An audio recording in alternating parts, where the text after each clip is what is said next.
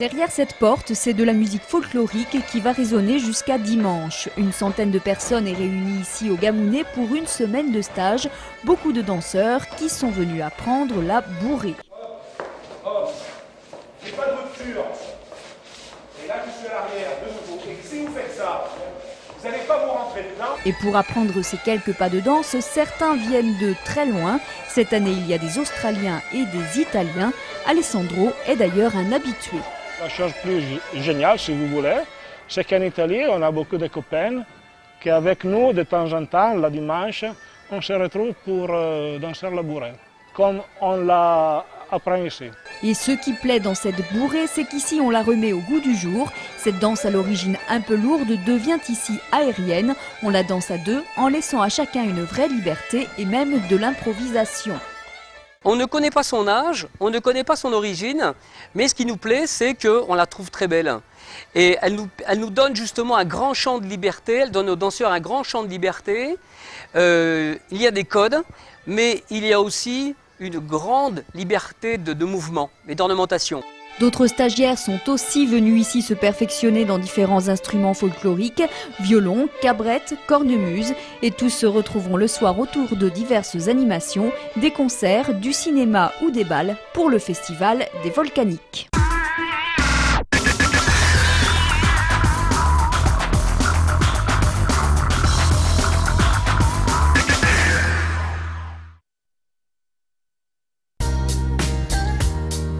Anconiti, salle de bain et chauffage, vous présente la météo.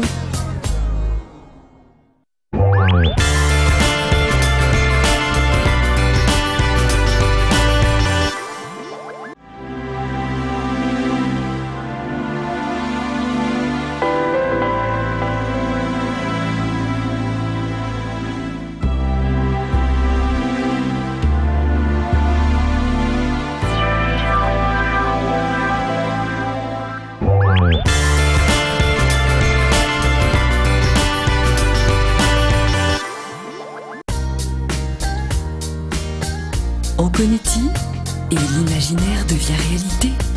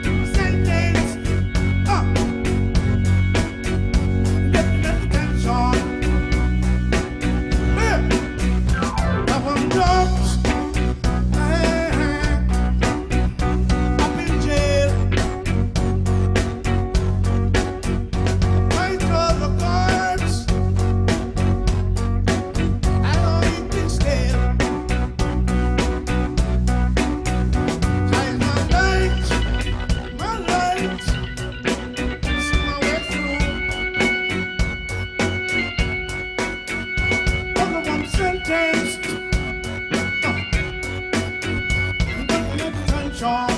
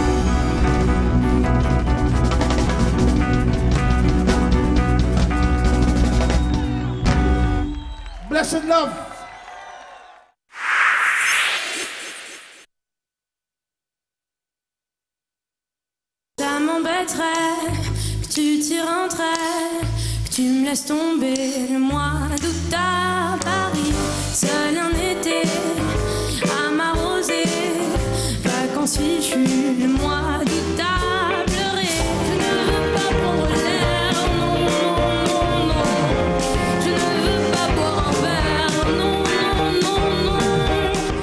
Retrouvez le live de Camélia Jordana sur Clermont Première. Cette jeune artiste de 17 ans était à l'affiche du festival Europavox 2010.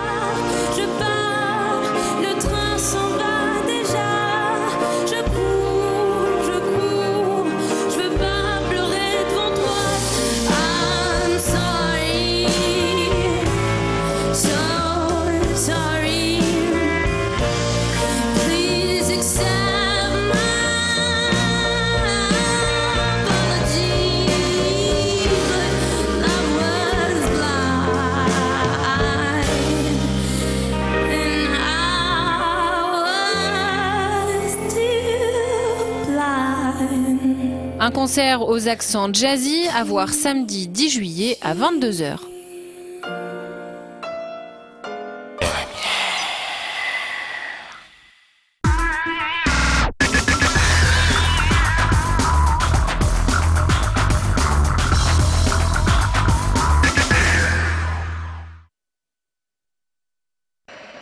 Le chantier du stade Marcel Michelin interrompu jusqu'à nouvel ordre, comme une dizaine d'autres chantiers dans la région. Les ouvriers BTP de l'entreprise Dumez-Lagorce ont décidé d'arrêter le travail. 70 d'entre eux se sont rassemblés ce matin devant le stade Michelin à l'appel de la CGT. Les ouvriers Dumez-Lagorce demandent à être mieux payés. Tous les actionnaires de Vinci euh, se gavent sur notre dos. Euh, à savoir que chaque salarié rapporte 10 000 euros, dont 5 000 euros revend aux actionnaires. Euh, nous, en bas, euh, ça fait euh, bientôt deux ans que les salaires stagnent. Euh, donc euh, on en a marre parce que la- bon, la vie augmente aussi, il faut voir cela. Et donc on n'arrive plus à faire face en fin de mois à tout ce que l'on doit payer. Les ouvriers ont été augmentés de 1% cette année en moyenne. Eux demandent une hausse de 5%. C'est aux alentours de 50 centimes de l'heure en plus, ce qui nous ferait en gros 75 euros brut. Hein, c'est quand même que du brut, donc euh, réellement dans notre poche, ça va être tourné aux alentours de 45-50 euros. La direction de l'entreprise n'a pas souhaité s'exprimer. Les négociations semblent être au point mort. Le mouvement de grève sera reconduit demain. S'il dure, le chantier du stade Michelin pourrait prendre un sérieux retard.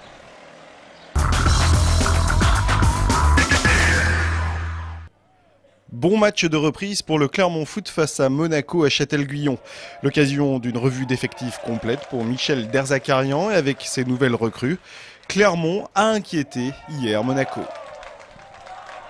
Ça fait déjà 10 jours qu'on est ensemble, donc euh, petit à petit on commence à retrouver euh, ses repères, euh, ses sensations. Donc tant mieux j'ai fait un bon truc, tout ça, tant mieux qu'on gagne. Il faut toujours gagner, il faut toujours prendre l'habitude de gagner. Donc tant mieux que tout le monde ait fait une bonne partie. Les Clermontois sont les plus dangereux et en deuxième période, ils obtiennent ce penalty sur une main monégasque. Guy Lacombe a beau être en colère, c'est bien Franck Chaussidière, le capitaine clermontois, qui va le convertir. Et 1 à 0 pour Clermont. Dans l'ensemble, je suis satisfait du match qu'on a fourni. Maintenant, c'est qu'un premier match. Et puis, euh, on avait les jambes un peu lourdes aussi, parce que là, ça fait 10 jours qu'on a repris, qu'on a un gros travail foncier et qu'on va continuer à travailler physiquement pour, euh, être au top. Des recrues qui se montrent à leur avantage. Une victoire 1 à 0 face à un club de Ligue 1. La soirée aurait pu être parfaite sans ce coup de néné sur Namli. Joueur marocain à laissé hier au Clermont Foot. Résultat colère noire de Franck Chaussidière et bagarre générale qui suit. Les deux équipes termineront le match à 10 contre 10. Néné et Franck Chaussidière seront expulsés. Résultat, le Clermont Foot s'impose 1 à 0 dans la confusion la plus totale. «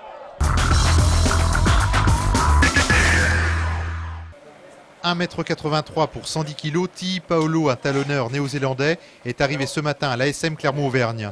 Et s'il découvre la France, ce nouveau challenge ne l'effraie pas, ayant déjà travaillé avec Van Cotter au Crusaders.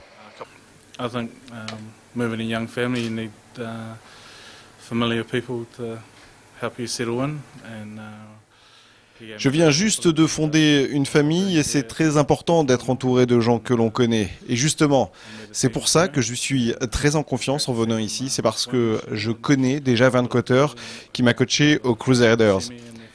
Euh, j'ai déjà euh, vu la demi-finale et la finale de cette équipe. Je l'ai vu gagner. J'ai très envie de gagner un nouveau titre avec elle. Et s'il pensait en venant ici que Mario Ledesma était parti, il n'ignore pas que la mêlée à Clermont est un secteur très important, tout comme avec les Crusaders.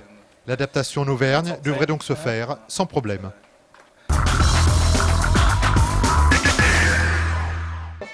Derrière cette porte, c'est de la musique folklorique qui va résonner jusqu'à dimanche. Une centaine de personnes est réunie ici au Gamounet pour une semaine de stage. Beaucoup de danseurs qui sont venus apprendre la bourrée. Hop, j'ai pas de rupture. Et là, je suis à l'arrière, de nouveau. Et si vous faites ça, vous n'allez pas vous rentrer dedans. Et pour apprendre ces quelques pas de danse, certains viennent de très loin. Cette année, il y a des Australiens et des Italiens. Alessandro est d'ailleurs un habitué. La chose plus géniale, si vous voulez, c'est qu'en Italie, on a beaucoup de copains qui, avec nous, de temps en temps, le dimanche, on se retrouve pour euh, danser la bourrée, comme on l'a ici. Et ce qui plaît dans cette bourrée, c'est qu'ici on la remet au goût du jour. Cette danse à l'origine un peu lourde devient ici aérienne. On la danse à deux en laissant à chacun une vraie liberté et même de l'improvisation. On ne connaît pas son âge, on ne connaît pas son origine, mais ce qui nous plaît, c'est qu'on la trouve très belle. Et elle nous, elle nous, donne justement un grand champ de liberté, elle donne aux danseurs un grand champ de liberté. Euh, il y a des codes, mais il y a aussi une grande liberté de, mouvement et d'ornementation. D'autres stagiaires sont aussi venus ici se perfectionner dans différents instruments folkloriques, violon, cabrette, cornemuse, et tous se retrouveront le soir autour de diverses animations, des concerts, du cinéma ou des balles pour le festival des volcaniques.